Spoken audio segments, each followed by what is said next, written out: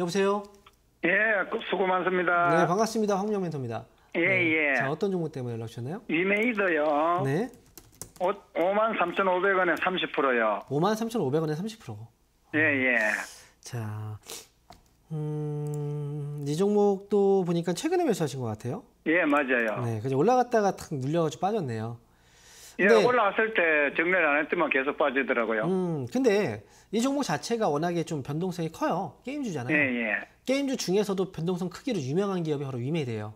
예, 예. 어, 그러니까 그 종목을 사셨으니까 이 정도의 변동성은 당연히 감내를 해야 됩니다. 이거는 예. 네, 당연한 조정이라고 생각을 하고 그 다음에 예. 어, 이 종목은 지금 자리에서는 이제 과거에 좀 안 좋은 사건이 있었지만 그건 이제 지나간 거잖아요.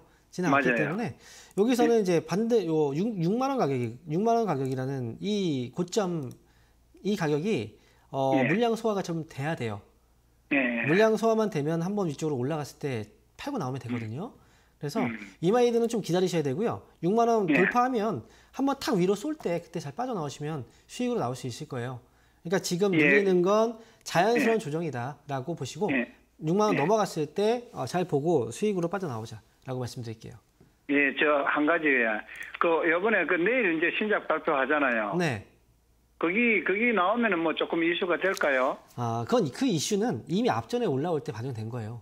아, 거기 반영된 겁니까? 그렇죠. 이게 그 다음에 이슈가 반영되려면 이 예. 이제 게임이 출시가 되고 나서 어, 그 다음에 이제 그 성과가 나와야 되겠죠. 그죠? 예, 예. 뭐 앱스토어에서 매드인지 그 다음에 이제 매출은 매드인지 그런 게 찍히면 그 다음에 반영되는 거예요.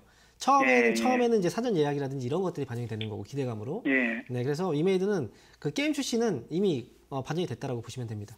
자, 아, 이렇게 알겠- 정리해 예, 예. 드릴게요. 알겠습니다. 네,